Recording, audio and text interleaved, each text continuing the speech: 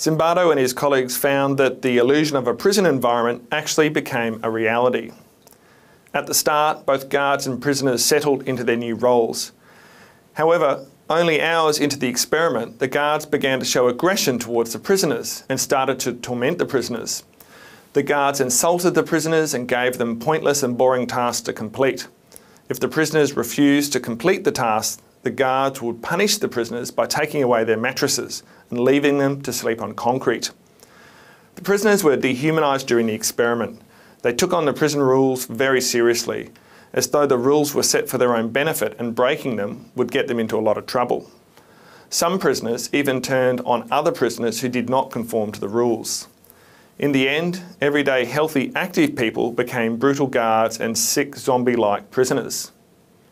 The whole situation became so real that many of the prisoners developed extreme levels of stress and were released from the experiment. Zimbardo and his colleagues initially planned to observe the simulation for two weeks.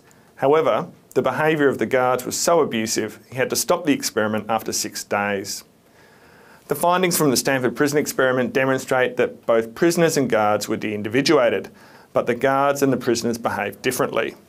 The guards became aggressive, cruel and abusive towards the prisoners, whereas those socialised into the role of prisoners became compliant, powerless, quiet and passive.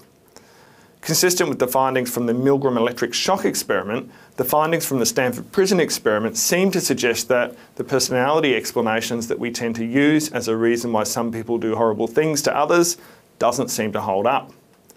The findings from both the Milgram and the Stanford prison experiments illustrate the power of the situation.